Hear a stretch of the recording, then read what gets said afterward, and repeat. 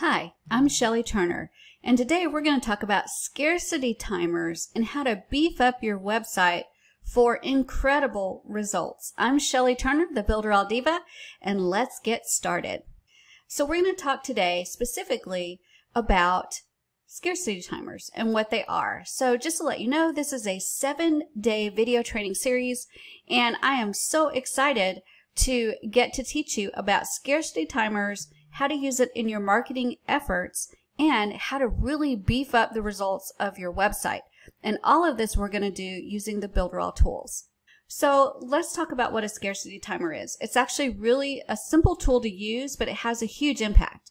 But put simply, a scarcity timer is just a way to create urgency in the message that you're conveying. So when a potential customer is looking at your site or your product or your service, they're going to make a decision based on the fact that it is a scarce item or a scarce product or the time is limited and they're going to actually act on taking that offer because they don't want to miss out. So here's my dream. This is a dream Hawaiian cruise, and this is something that I've always wanted to do. I've actually been blessed to be able to go to Hawaii, but I really want to do a dream cruise that goes to all the different islands in Hawaii. And I was looking up the other day exactly that thing. And when I looked it up, I want you to notice where it says, here are some great deals for you. It has the early saver sale. And right there, right where that red line is, it says sale ends February the 15th. So for me, that is an urgency, a scarcity that tells me that if I don't buy this by February the 15th, then I'm not going to get this early saver sale and I won't be able to get this price that's on here. It's still a pretty high price, but if I buy it early, I won't have to pay a higher price later on. So that's the idea of scarcity. Now there's tons and tons of ways to uh, put scarcity onto your website and into your emails, and we'll talk more about that in this training.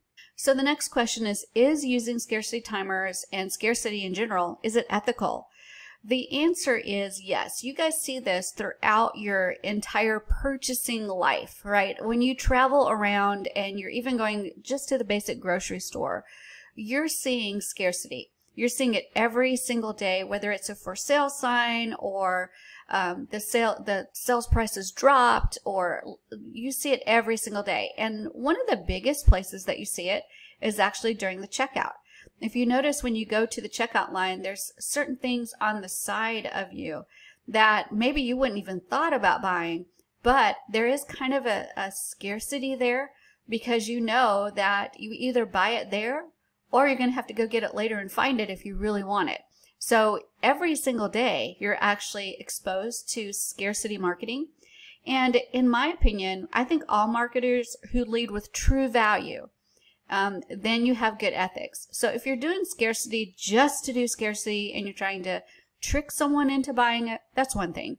But if you're doing scarcity to say, I'm really only going to offer it for this price during this time, and if you don't buy it for this price at this time, then you won't get it for that price again, that's ethical.